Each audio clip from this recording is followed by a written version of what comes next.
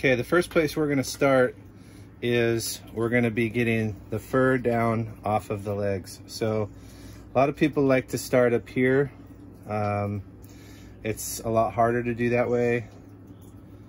Um, also, the way that I have my hangers, I don't put them down behind the ankle. I put them up around the actual foot so that I can later manipulate the ankle and cut it off for putting in the, the ice bucket. So what I'll do is I'll just pinch the side here, stick it in, straight up, okay? Then I'm up right now, and then my goal is to just get it off around the leg here. And then I just cut it up back around the ankle, still while holding this. Be careful, this is a very tender spot. You pull too hard, too quickly, and you can rip it. So we're just gonna pull that back towards the anus here. Same thing on this side. Now I have a knife in my right hand. I have a pinch of skin and I'm just straight up. Make sure your knife is sharp. And I'm just gonna come right up. I'm gonna pull this around. Now I have just the thin piece here that I could actually shove my finger through if I wanted to. Just gonna put in my knife and I'm gonna come up to the ankle, pull that off. Same thing, pull it towards. Then I'm gonna take these two fingers on each hand. Always turn the, I always turn the knife around backwards. Okay, it takes me too long to stick the knife, you know, on a table, in my scabbard, whatever. So often I mentally always try to turn it around backwards so that the blade is never gonna hit my other hand. So now I'm gonna take these two fingers and I'm gonna work these fingers pulling the skin, the fur away from the skin. Now I just have it straight up to the tail. I'm gonna work the knife right up to the tail and I'm just gonna pull it right through. Now I'm sitting here, I got everything away from the legs. Now for chefs, I like to leave the fat on. Some people don't. If you're doing this for your own freezer, okay, so I'm just gonna work the fat away from the skin. Okay. Sorry, my tool belt's making. So now that I have it separated, I've got the fat left on. Now, sometimes if there's a lot of fat and I wanna present it nice to the chef, I'll just leave that on there. But where I was at was head. Normally I'll take the head off first, but I'll just hold on to the ears and I tend to turn the head up because I've already bled it out. Turn the head up, hands out of the way, straight down, and then I'm going to uh, dispose of the head. Okay, so now I'm gonna just work this down side to side, okay? Normally I'm working a lot faster, but you'll see this little thin, sinewy, whatever it's called. And I'll just work that so that it doesn't rip the fat off, because again, presentation, uh, chefs like to cook with the fat. And now I'm left right here with fur on the front feet. I'm just going to, with the same knife, I'm going to pull it up like that, right at the joint. And it just goes right through the joint. Okay, same on the other one. Okay, now I'm going to dispose of the fur. Okay, now, so you can see there's a bit of fur on here. If there was, if it was, it's summertime, so sometimes they're molting, etc. If it's real bad, sometimes I'll give it a little bit of a pre-rinse. But when it's dry, it's a little easier to work with. So I'll come in and I mentioned in another post why I like these knives. It's short. You have a lot more control on where your knife is when you're working with such a small animal and you got your other hand around uh, in such close proximity. So with here, I'll come in right next to the thigh and I'm just gonna work it off that edge. Same thing on the other side. I'm just gonna work it off that edge. I'm gonna stick it in right to the tailbone. You can see right here, I'm going to, I'm not cutting in or poking into the actual uh, anus there, but just working it off that tailbone, okay? So now there's one little section that's left after you've done that. And that's this little front piece. I'm just gonna cut that off. You might have to give it a, one more little whack on each side, but now you're left with that completely independent, okay? Now I'm gonna make a tiny little incision here. I don't like to make it too big. Again, for me, it's all about presentation. If I cut across too wide, then you have this huge diamond when you're done. I'm gonna stick my two fingers in, okay? My fingers are gonna guide my knife, okay? But also keep me from poking into any of the intestines. Now, when I'm pulling down, I'm not poking in like this. I'm just letting the edge of the blade come and follow my hand. Letting my hand work it down, okay? Now that I'm right here, sometimes I'll come in and just bring that up a little bit more. From here, I'm just gonna take this finger right here, shove that in. I'm gonna take these three fingers and I'm gonna work my hand around everything. I can feel my other finger right there handing it off to me. I'm gonna pull it down, being sure not to pinch the bladder. And I'm just going to pull this down, okay? Now, we have just this joint right here holding everything together. I'm gonna take these two fingers right here, reach down, and just gently pull down, okay? I like, chefs really like the livers, so I'm gonna pop those out. Now I have everything loose. If I let go, it's just hanging on the throat right here, okay? So with, with my fingers here, I'm just gonna pull this up. Okay, everything's out. I'm gonna wrap it around, pull off the liver. I'm gonna dispose of this. Now, here's a trick with this here, okay? If you pull from this side, you're gonna shove it back up the vein. So you always wanna pinch it from the point here, like this, and pull back away not to shove any of the toxins back into the liver. So I'm gonna dispose of that. I'm gonna put the liver in my ice bucket. Okay, now we have everything. You can see how clean this is. Perfectly clean cavity. And I'm just gonna break this here. Same thing. We're working these fingers. Just gonna reach in. If you need to, you can stick another finger up in the neck and it's just going to allow you to pull that right out. With the same, with this in my hand, if you like to keep the hearts, which we do, I'll pop the heart out of the little sack that it's in. That allows me to just break this off. Okay. I'll dispose of the lungs. Unless we're making dog food. And with the heart, I'll throw it into my ice water. Sometimes I'll rinse it off, but for now, I'm just gonna toss it in there. Okay. At this point, I'm just gonna give my hand a little wash. Now, okay, so now I'm going to clean it off, okay? So I always have a hose.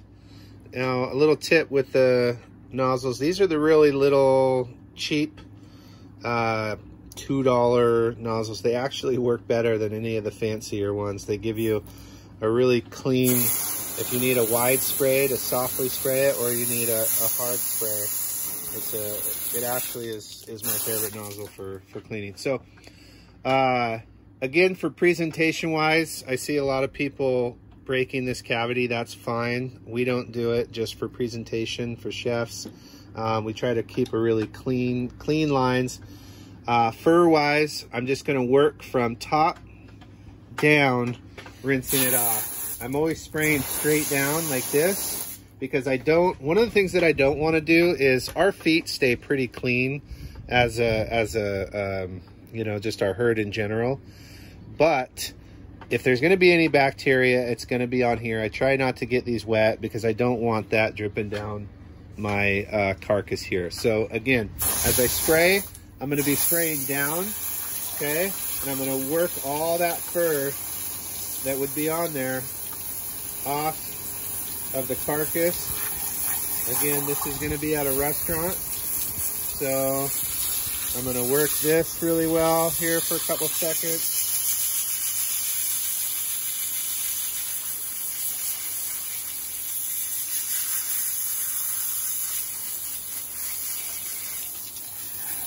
Okay. I'm gonna clean in here. Now I don't spray too hard while I'm while I'm in here with a I'm usually pretty pretty wide with my spray, pretty gentle. I'll spray it harder down into the to the neck cavity, get all that stuff washed out. I'm trying not to manipulate the the uh, kidneys here. Again, presentation. Um, it makes a big difference, especially depending on what your application is. A lot of these things I'm mentioning are going to be irrelevant if it's just going in your freezer. Um, but if you're a little OCD like me, then you can uh, just keep everything nice and clean. Okay. So again, trying not to get any of my uh, feet up here wet.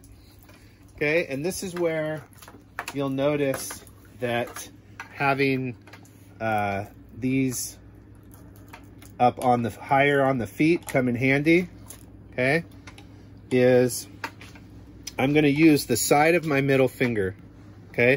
If this was down lower, like this, I couldn't break that ankle off because this is down here, it's in the way, so we like to keep it up high. So again, inside my middle finger, what we're gonna be doing is these joints pop really easy. They don't pop easy if you try to take the front of the foot and bend it this way or bend it this way. Uh, they pop right out of the joint if you use your middle finger here, wrap it around, and then these knuckles right here are going to pop it sideways right there, okay? So let me show you again. Now we're going to be manipulating the ankle straight this way, okay? 90 degrees. So I'm gonna wrap my middle finger around it and I'm just going to straight, straight down, okay? Right there. Now, I'll just take my knife and work. So that's, this is why I like these curved knives, okay? Is because again, short, stiff blade, but when I'm working little areas, it's curved and it just happens to work really well for dealing with rabbits. If I need to get in here and go this way, come in, it just works really well. We do more of a French style. Some people break the legs off or I don't, here's a, here's a, th here's the thing. I don't use any clippers to break, to clip the back feet off or the front feet. The reason is when you go and you vacuum seal these, these are really smooth joints. If I go and cut these with uh, trimmers, they're gonna be sharp. Same with the front. I've walked my knife right through the joint. These are nice, smooth, round edges, so I'm not gonna do any puncturing of my vacuum seal bag. So there we go. Now I'm gonna do one more and I'm gonna walk through it without talking and I'm just gonna show you how I'll do it uh, walking through quickly. I'm gonna take the head off first just before I even get started.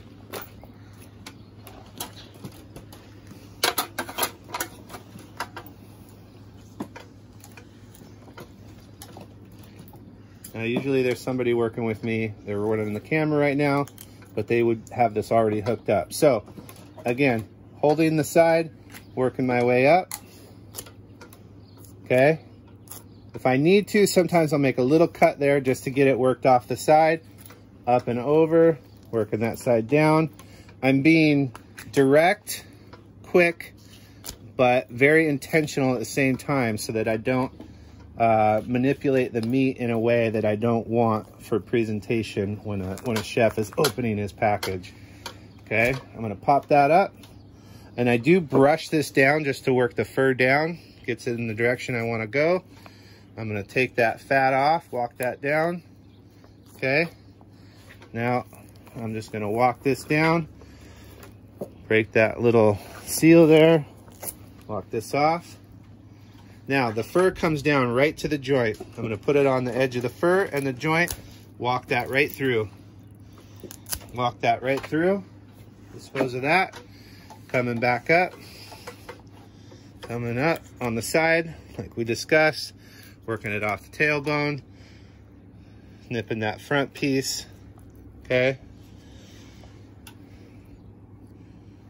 Small incision, sometimes it gets stuck on the fat here now that I'm trying to present it. I think, see this, right now my hands are, are wet and the carcass a little wet. This is why a lot of times um, I try to keep it dry. And I try not to do a lot of sawing. Sawing just, you know, makes the meat not look very presentable. But I'm getting a little... Okay.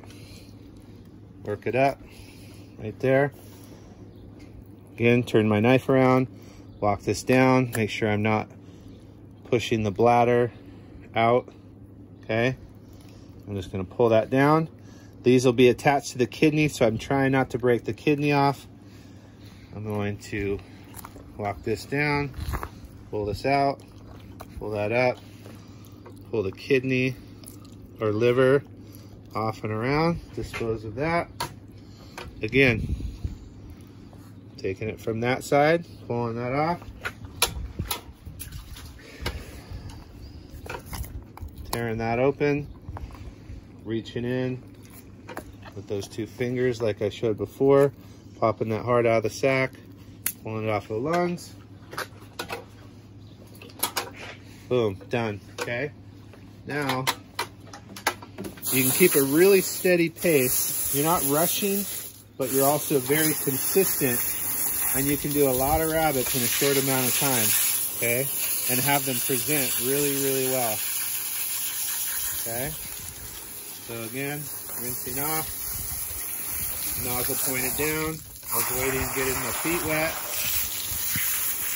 Boom, good, okay? So again, these fingers right here, I'm just gonna pop that off. Boom, much, much nicer. Okay, you get a much cleaner joint than clipping them with clippers. Okay, here we have it. Thanks so much. Go ahead and ask questions in the comments and I'll try and add anything else that uh, people ask, how I vacuum seal. Um, I'm sure there's gonna be other questions that come up. I will do a video on the actual kill I just, uh, I'm way behind right now, so I gotta get going. Thanks, guys.